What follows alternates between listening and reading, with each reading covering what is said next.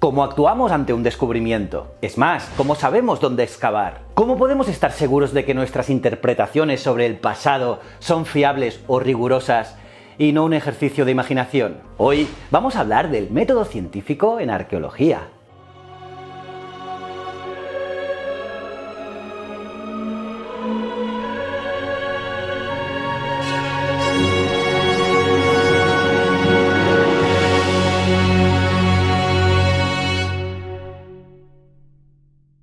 Bienvenidos y bienvenidas a un nuevo vídeo de la Fundación Palarc. Y hoy vamos a hablar de la arqueología como ciencia. Ya hemos visto en vídeos anteriores que durante toda nuestra historia los humanos hemos sido conscientes de tener un pasado y el coleccionismo de antigüedades ha sido algo común a lo largo de las décadas. Pero, ¿qué cambió en esta curiosidad para convertirla en disciplina científica? ¿Qué ha convertido a la arqueología en lo que es hoy en día?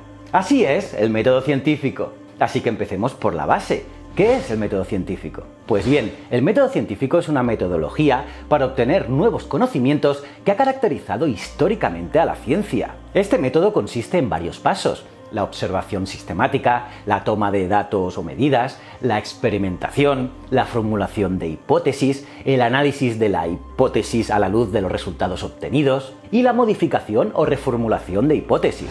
Las principales características de un método científico válido son la falsabilidad, que debe basarse en parámetros observables, medibles y contrastables, y la reproducibilidad y repetibilidad de los resultados, ya que estos análisis deben ser realizados por otros investigadores para observar la repetición de los resultados y corroborada por revisión por pares. Este último paso, la revisión por pares, es necesaria para dar a conocer los resultados al resto de comunidad científica a través de publicaciones. En estas publicaciones científicas se realiza un informe detallado del hallazgo, con su marco conceptual, la hipótesis de partida, la metodología empleada en sus análisis, los resultados y una discusión de estos para contrastar la hipótesis de partida. Estos artículos, una vez mandados a una revista o journal especializado, son sometidos a una revisión escrupulosa por parte de dos expertos en la materia. Unos investigadores que son independientes del investigador o equipo que firma la autoría del trabajo.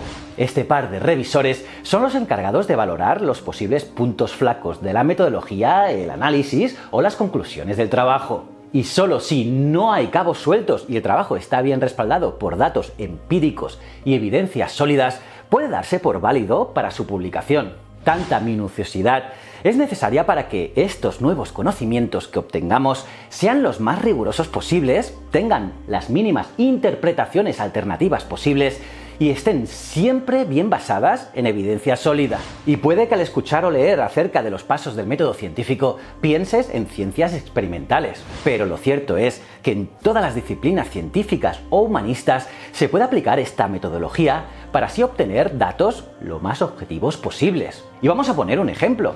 Se encuentra un fragmento de cerámica en los márgenes de un campo de labranza y podemos plantear la hipótesis de que es terra sigilata que es un tipo de cerámica característico de la época romana. La metodología y análisis sería el conjunto de estudios necesarios para determinar si realmente lo es. Por ejemplo, analizar su composición y fractura, su acabado, su barnizado, o incluso consultar la carta arqueológica local o regional para ver si hay algún yacimiento cercano, o incluso realizar una prospección de campo para ver si hay más fragmentos cercanos, o incluso si hay un yacimiento todavía no descubierto en ese área. Todas estas tareas a realizar pueden llevarnos a muchos resultados posibles, pero han de ser los datos los que nos lleven a descartar una hipótesis o a aceptarla. Y solo podemos afirmar que ese fragmento de cerámica es efectivamente terra sigilata romana si tanto su análisis como artefacto muestran que sus características concuerdan con los esperables en este tipo de cerámica romana,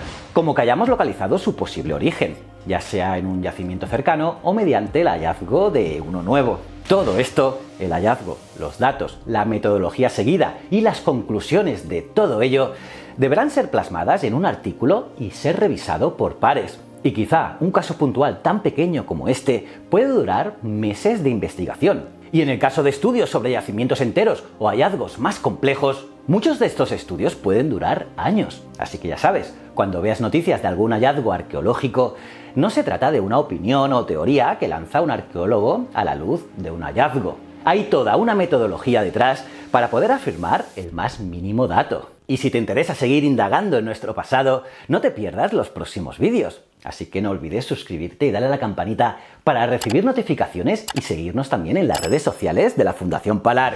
Ah, y echa un vistazo a nuestra web. Allí encontrarás las últimas noticias de arqueología y paleontología. Te invitamos a que nos acompañes en este apasionado viaje a lo largo de nuestra historia. Muchísimas gracias.